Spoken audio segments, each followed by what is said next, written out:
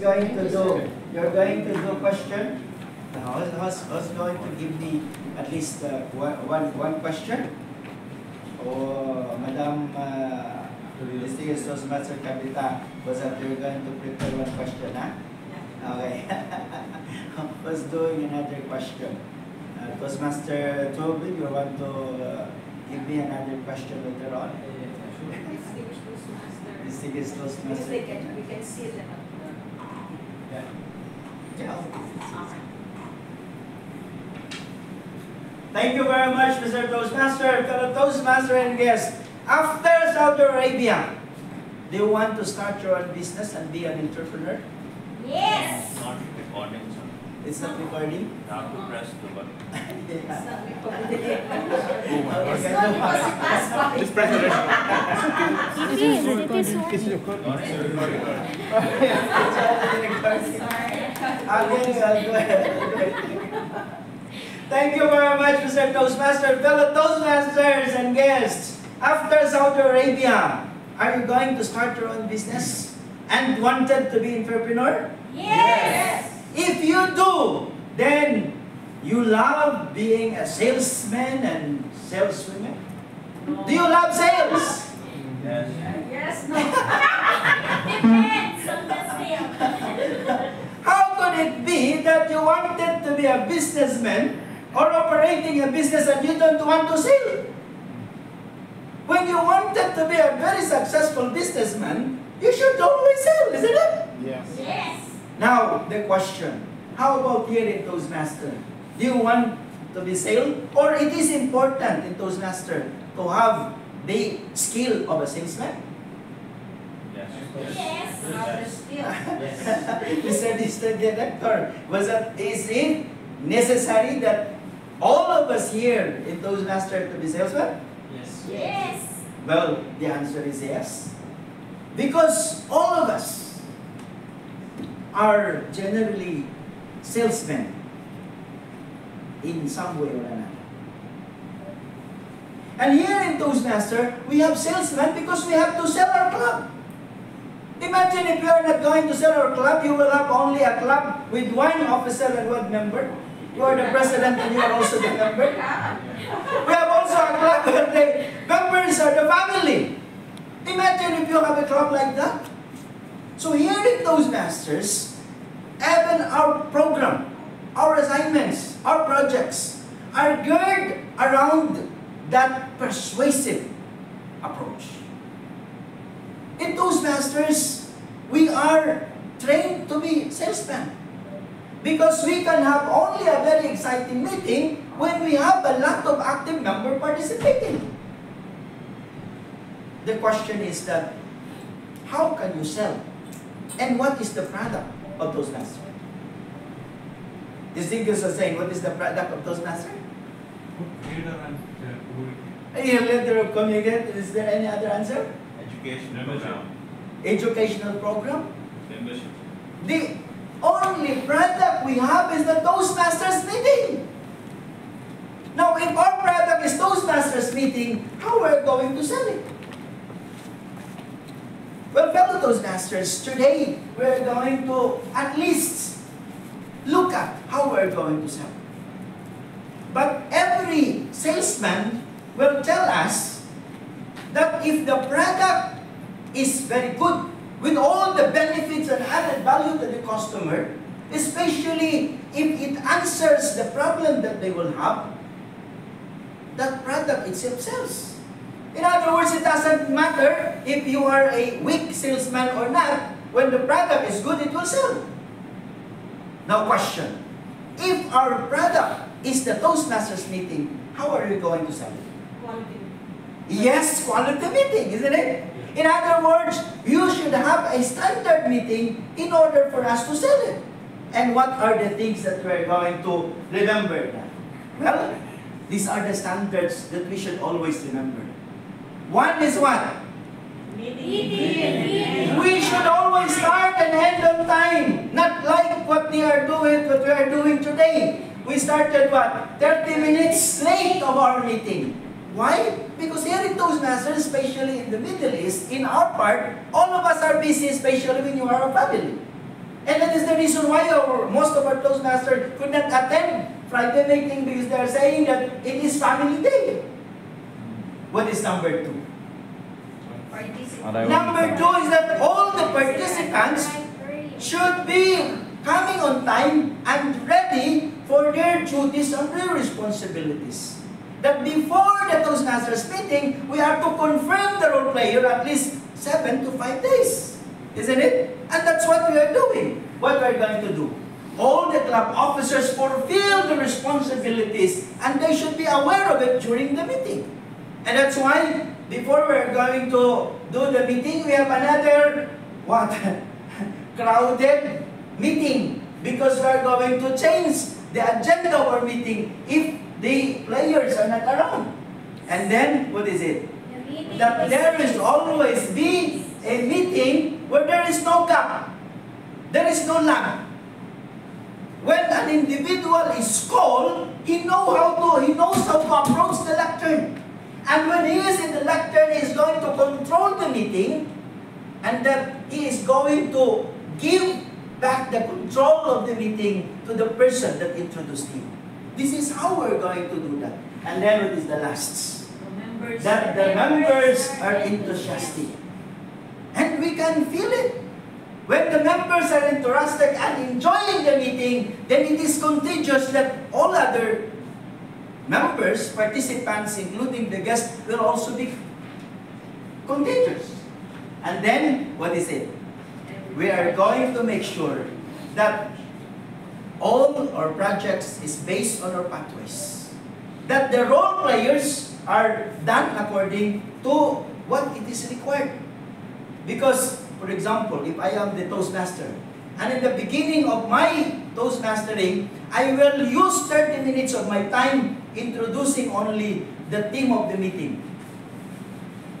Then, how many regular speeches with is 5 to 7 minutes?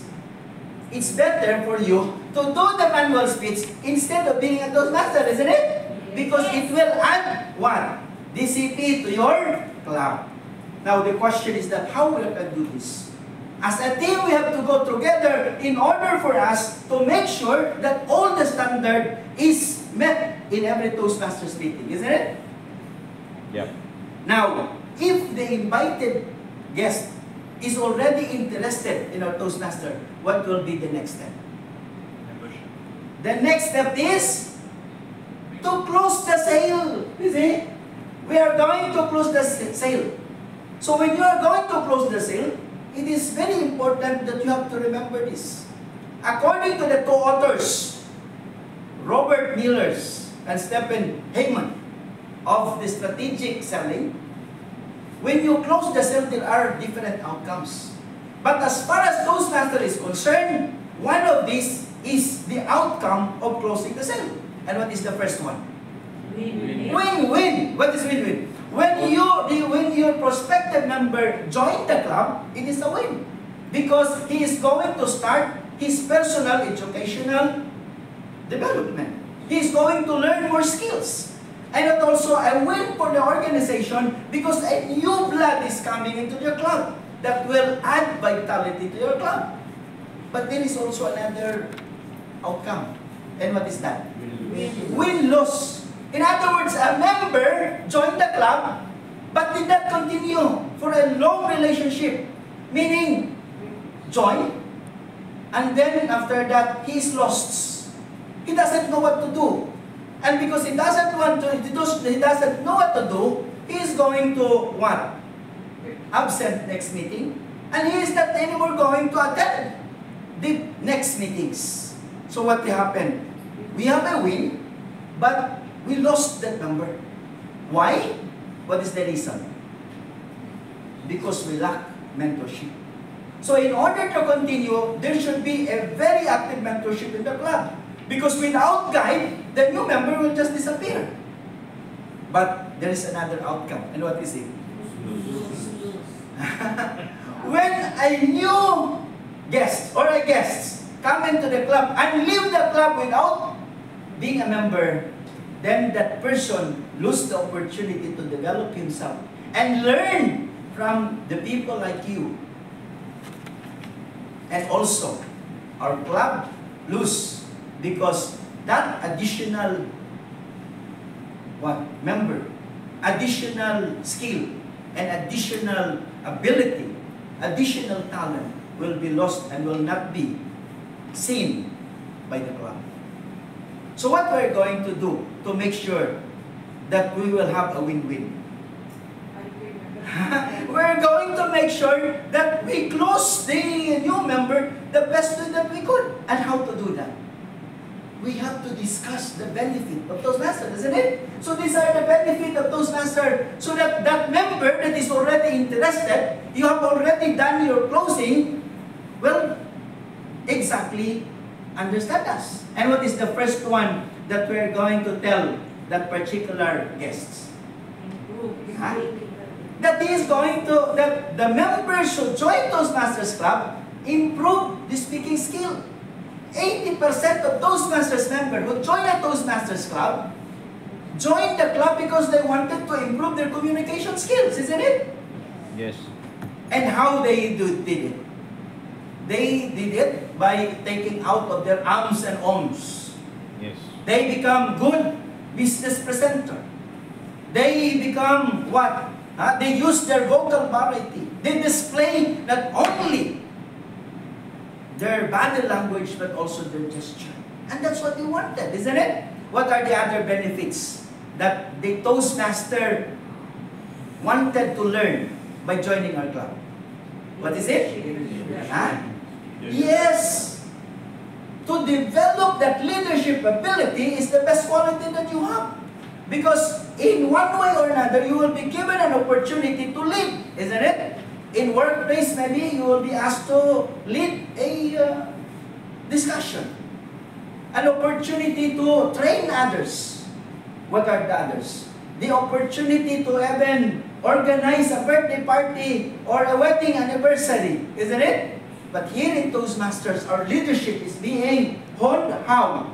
By doing the Toastmasters meeting leadership, like a grammarian, table topics master, and ever a Toastmaster. What more? What are the things that we're going to do? Huh? Yes, it will be a better social skills.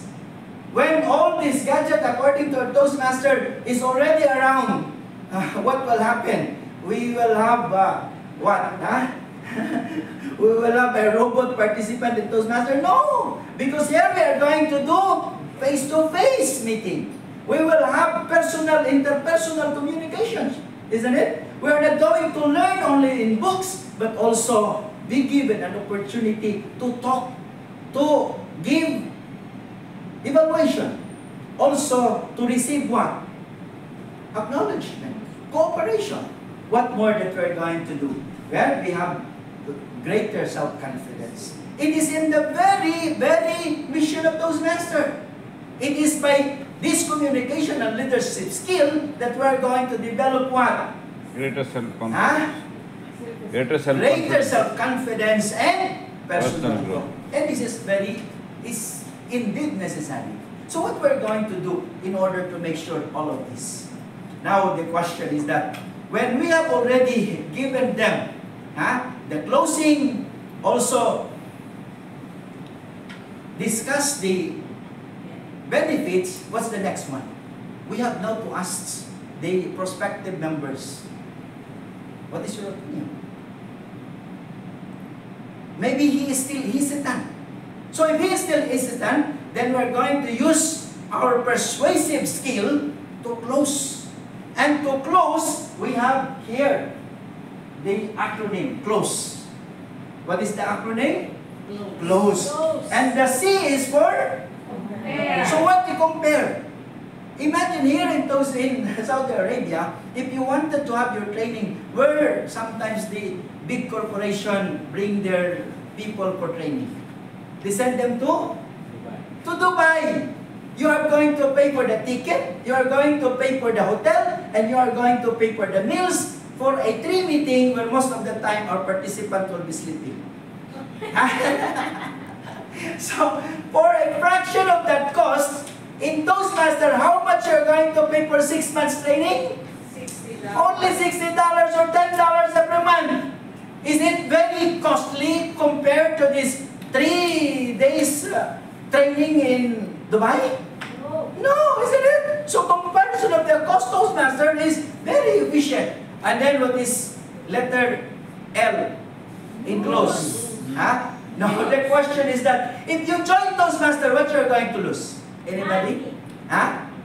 Yes, something is lost. You are going to lose your fear of public speaking. That is the only thing that you're going to lose, isn't it? Your fear of public speaking. And out of that loss, you're going to gain what?